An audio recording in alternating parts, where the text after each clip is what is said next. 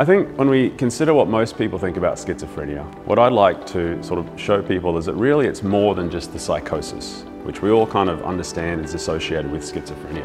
But alongside this, one of the most devastating illnesses someone can suffer from are a lot of cognitive problems, problems with learning, memory, and decision making. And for most people, these are the symptoms we can't treat, and they're the ones that make it hard to navigate normal work and life environment. If we can improve these factors for people with schizophrenia, their lives be much more fulfilling and they'll be able to contribute to society much more. So my name is Dr James Kesby and I'm a researcher here at the Queensland Brain Institute. And my research focuses on mainly schizophrenia and psychosis and how that affects our decision making. My research is really interested in what happens after the first episode of psychosis.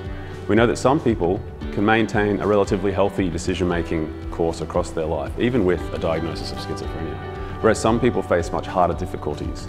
And it seems that there's this drop-off from that initial episode to a persistent status with the, with the disorder. And I think if we can identify who is going to have the most trouble post that episode, we can tailor our treatments, be they drugs or social interventions, um, we can hopefully help those people who are going to suffer the most uh, stay in society and stay healthy and happy.